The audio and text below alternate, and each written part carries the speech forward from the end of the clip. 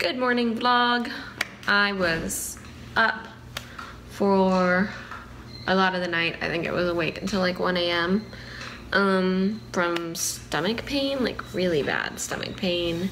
And from some vomiting, which I guess is just the reality of gastroparesis. I hoped that since my stomach was hungry, I could eat some safe food, but it didn't work out like that. Still in a lot of pain. I'm still having a lot of stomach pain. I'm hoping that at the very least, since I only vomited some of what I ate, that my blood sugar won't drop so I can, you know, just let it rest for a little bit longer. We just called my doctor all the way up in Winston-Salem, and last time I had a flare-up like this, I went about two weeks without eating and the problem was that my local ER would not hospitalize me because my blood work was normal, although I showed signs of dehydration, and because I wasn't actively vomiting the second I ate. And we're hoping that he can maybe come up with a plan, whether that's getting me the Portacath sooner, getting me to go to his ER. I've been in pain all day from that meal yesterday that I vomited honestly, the food I'm eating has no nutrition in it, so that's just not sustainable for someone to live with that little amount of food. And then that's not even bringing up the whole water thing. I'm taking maybe two sips of water a day because, and that I'm vomiting. So we're waiting to hear back and hopefully he has a plan. And I will let you guys know. And in the meantime, I have just been resting, watching YouTube videos, cuddling with Rudy, trying to tame the bird, just trying to keep my energy expenditure to a minimum so that I don't drop my blood sugar too quickly again.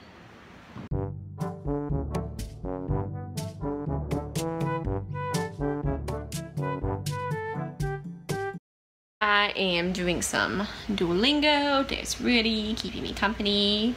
Boop. It's really nerve-wracking. I don't think you can really understand it unless you have a chronic illness doctors just don't know what to do with people with chronic illnesses, I think. They just don't know what to do. So when I have a situation like this where it's not like a super emergency, like if I go to the ER, they're gonna be like, what are you doing here? It's really tough for doctors because the way the health system is set up, it's for healthy people who have emergencies that need treatment right now. But when you're chronically ill and you have something that needs treatment but maybe it doesn't need treatment right now, you just know you need treatment for it. It's pretty tough. I'm waiting for the call to hear back to see what they're going to do, and that is nerve-wracking because I don't know if I'm gonna get any treatment or if I'm gonna have to keep living like this with my stomach hurting, unable to eat. We shall see. Rudy and I are watching some Fry Life to ease our nerves.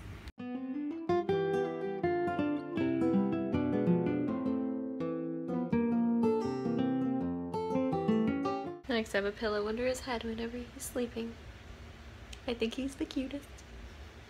The nurse called me back and we discussed possibly me going up to their ER four hours away.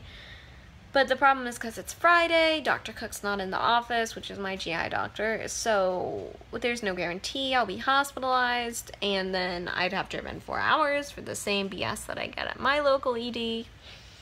So what's gonna happen is she's gonna call interventional radiology first thing Monday morning and try to get that port scheduled by the end of next week so that I can get it and start getting IV fluids ASAP hopefully.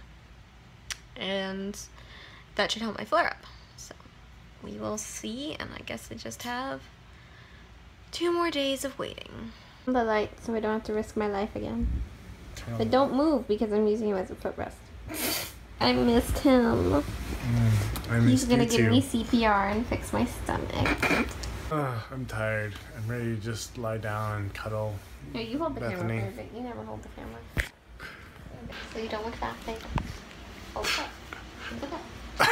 Hold it up. I'm just tired and been a long day. I just want to lie down and cuddle Bethany and watch her vlog from yesterday because I haven't gotten around to watching it yet. So. I am seriously craving some ice cream because it tastes good. But I think something people don't really talk about enough is the fact that just because it hurts to eat or because, you know, people like me sometimes vomit when we eat doesn't mean that we just magically don't want food. Like, no. Okay. what do you think, babe? About you getting an ice cream? Yeah. What's the harm in it? High five! YOLO. I had a couple of scoops of ice cream and it didn't majorly upset my stomach. There's the burb in the background right here. So it didn't upset my stomach and that is because ice cream melts. So, you know, obviously it just goes right through, yeah. You know, health gurus are gonna be like, oh, ice cream's so bad for you. But you know what? If you have gastroparesis, sometimes it's one of the few things you can eat. It just melts. Ice cream, popsicles, ice. They are your friends. Anyways, I'm going to go hunt down a season of Psych so Nate and I can watch it together and go to bed. I need a signing off phrase. Put in the comments what you think my signing off phrase should be. Anyways, goodbye.